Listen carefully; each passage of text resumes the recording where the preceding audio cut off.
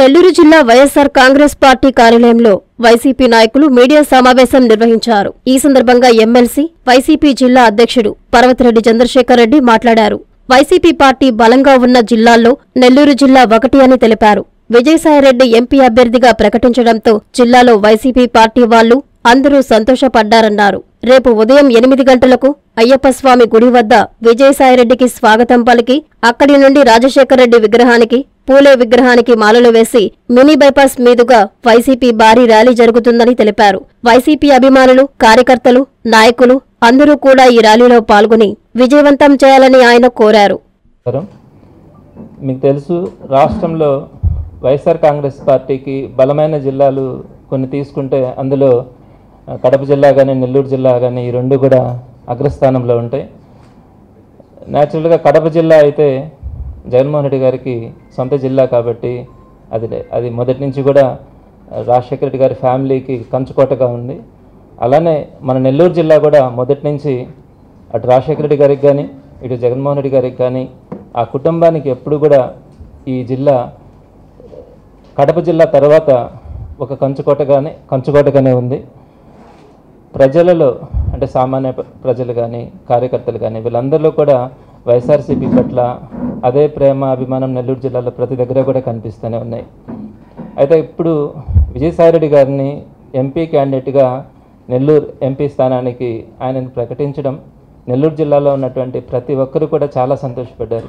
ఎందుకంటే జగన్మోహన్ రెడ్డి గారి తర్వాత రెండవ స్థానంలో రాష్ట్రంలో అందరూ కూడా భావించే వ్యక్తి విజయసాయిరెడ్డి గారు. విజయసాయిరెడ్డి గారు ఒక నిర్ణయం తీసుకున్నా లేదా ఒక మాట చెప్పినా రాజకీయాల్లో ఆయన మొదటి నుంచి కూడా ఒక దృఢమైనటువంటి స్వభావం కలిగినటువంటి వ్యక్తి. అలాంటి నాయకత్వం అలాంటి లీడర్షిప్ ఈరోజు నెల్లూరు జిల్లాకి అవసరం అని జగన్మోహన్ రెడ్డి గారు భావించడం. ఇక్కడ ఉన్నటువంటి ప్రతి కార్యకర్త కూడా చాలా ఒక మంచి నిర్ణయంగా విజయసాయిరెడ్డి గారిని రాకని అందరూ కూడా ఆస్వాదిస్తూ ఉన్నారు. సో మరి ఆయన మొట్టమొదటిగా ఎంపీగా అనౌన్స్ అయిన తర్వాత రేపు నెల్లూరుకి ఆయన మొట్టమొదటిగా విచ్చేస్తూ ఉన్నారు. అందరికీ తెలిసిన విషయమే విజయసాయిరెడ్డి గారి స్వస్థలం కూడా మన నెల్లూరు జిల్లా నెల్లూరుకు దగ్గరలో ఉన్నటువంటి ముత్తుకూరు మండలంలో ఆయన స్వస్థలం. మరి స్థానికంగా ఉన్నటువంటి విజయసాయిరెడ్డి గారు రాష్ట్ర స్థాయిలో జాతీయ స్థాయిలో కూడా ఒక మంచి లీడర్గా ఆయన ఎదగడం కానీ ఇక్కడ ఉన్నటువంటి ప్రతి ఒక్కరికి కూడా విజయసాయిరెడ్డి గారు తెలియనటువంటి వ్యక్తి ఎవరు ఎవరు ఉండరు వైఎస్ఆర్సీపీలో కానీ ఎక్కడున్న నాయకుల్లో కూడా. సో అటువంటి వ్యక్తి రావడాన్ని ప్రతి కార్యకర్త నాయకుడు కూడా సంతోషపెడతా ఉన్నారు. ఈ సందర్భంగా విజయసాయిరెడ్డి గారు రేపు మన నెల్లూరుకు సంబంధించినటువంటి కార్యక్రమాలను ప్రారంభించేందుకు ఆయన ఆఫీస్ని ఆఫీస్ కార్యక్రమాలన్నీ కూడా ప్రారంభించేందుకు మన నెల్లూరు పట్టణానికి ఇచ్చేస్తూ ఉన్నారు. ఇందులో భాగంగా రాత్రికి ఆయన ఒంగోలులో ఉండి అక్కడి నుంచి మొదటిగా ఉలవపాడు దగ్గర ఉదయం ఆరు గంటలకి కందుకూరు కాన్స్టిట్యున్సీకి ఉదయం ఆరున్నరకి కందుకూరు కాన్స్టిట్యున్సీకి సంబంధించినటువంటి నాయకులందరూ కూడా ఉలవపాడులో ఆయన రిసీవ్ చేసుకోవడం ఆయనకు అక్కడ స్వాగతం పలకడం జరుగుతుంది. ఆ తర్వాత కావలి ఉదయగిరి నియోజకవర్గాలకు చెందినటువంటి నాయకులు రుద్రకోట దగ్గర ఏడు గంటలకి అక్కడ వారందరూ కూడా సుమారుగా రెండు వందల వాహనాలతో విజయసాయిరెడ్డి గారికి ఘనమైన స్వాగతం పలకడానికి వారందరూ కూడా అక్కడ సిద్ధంగా ఉంటారు. ఆ తర్వాత ఏడుం కాలుకి దగదర్తి దగ్గర ఆత్మకూరుకు సంబంధించినటువంటి ఎమ్మెల్యే గారు కానీ నాయకులు కానీ వారందరూ కూడా ఏడం కాలకి దగదర్తి దగ్గర ఆయనకి స్వాగతం పలుకుతారు. ఆయనతో పాటు వీరందరూ కూడా స్వాగతం పలకడమే కాదు అక్కడి నుంచి ర్యాలీగా ఆయనతో పాటు నెల్లూరు వరకు కూడా ప్రయాణించడం జరుగుతుంది.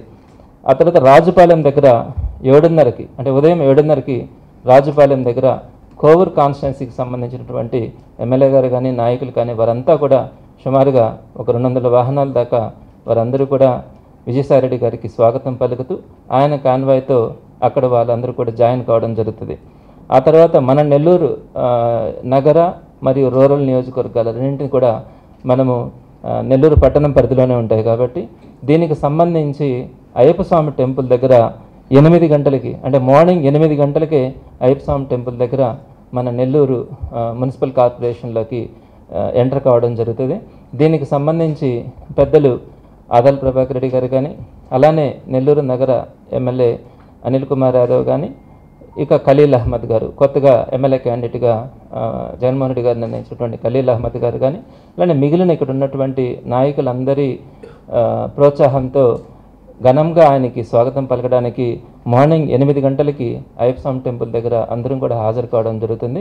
అక్కడి నుంచి ర్యాలీగా నెల్లూరు నగరంలో ప్రవేశించి మనకి హైవే మీద అక్కడ మన రోడ్ మీదనే విఆర్ కాలేజీ దాకా రావడం. విఆర్ కాలేజీ దగ్గర ఆ మధ్యలో కరెంట్ ఆఫీస్ దగ్గర రాజశేఖర రెడ్డి విగ్రహానికి పూలమాల వేయడం కానీ అలానే విఆర్ కాలేజ్ దగ్గర డాక్టర్ బిఆర్ అంబేద్కర్ గారి విగ్రహానికి పూలమాల వేయడం కానీ ఆ తర్వాత స్టౌనస్పేట దగ్గర ఆత్మకూరు బస్ స్టాండ్ సెంటర్లో ఉన్నటువంటి పొట్టి శ్రీరాములు స్టాచ్యూకి గ్యార్లాండ్ వేసి అక్కడి నుంచి మినీ బైపాస్లో ఎంటర్ అయ్యి ఆయన ఏదైతే ఇప్పుడు ఆఫీసు రామ్మూర్తి నగర్లో ప్రారంభించారో ఆ ఆఫీస్ దగ్గరికి సుమారుగా పది గంటకల్లా అక్కడికి చేరుకొని ఆఫీస్ని ప్రారంభించడం కూడా జరుగుతుంది.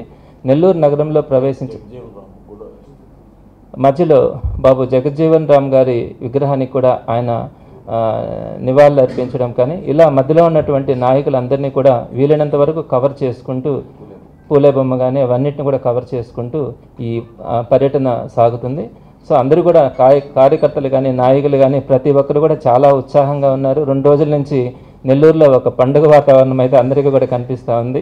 సో ఒక మంచి నాయకుడిని నెల్లూరు ఎంపీగా ఇవ్వడం కానీ మంచి వ్యక్తుల్ని ఈరోజు కంటెస్టింగ్ క్యాండిడేట్స్గా జగన్మోహన్ రెడ్డి గారు అనౌన్స్ చేయడం కానీ సామాన్యులు కూడా ప్రజల్లో ఉండాలి. సామాన్యులు అందరూ కూడా ప్రజలకు అందుబాటులో ఉండగలరన్న ఉద్దేశంతో అన్ని వర్గాలని కలుపుకుంటూ అన్ని రకాలైనటువంటి వాటిని కూడా మిక్స్ చేసుకుంటూ జగన్మోహన్ రెడ్డి గారు నాయ ఈ ఎమ్మెల్యే క్యాండిడేట్స్ని అందరినీ కూడా ఆయన అనౌన్స్ చేయడం జరిగింది.